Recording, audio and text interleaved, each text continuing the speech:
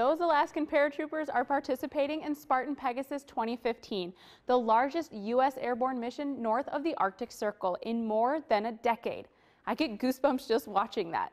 To see more of what they're doing, head over to our YouTube channel. Hi, and welcome to iSoldier. I'm Sergeant Audrey Santana. The casing of the colors marks the end of Operation United Assistance for the 101st Airborne Division in Liberia.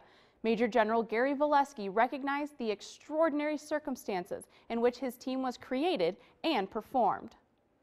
While our large-scale military mission is ending as the 101st departs Liberia, the fight to get to zero Ebola cases will continue, and the JFC has ensured capabilities we brought will be sustained in the future. Let's head on over to Fort Carson, where Gail McCabe has been talking to some world-class athletes.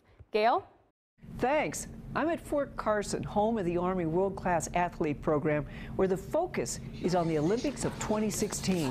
46 soldier athletes are training hard, vying for a spot on the U.S. Olympic team headed for Brazil next September.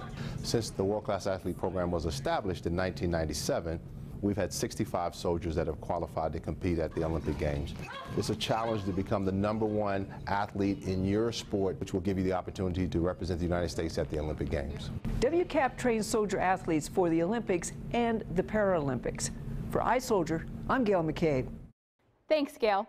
For more information on WCAP, head over to their Facebook page. That does it for us. I'll see you next week on iSoldier.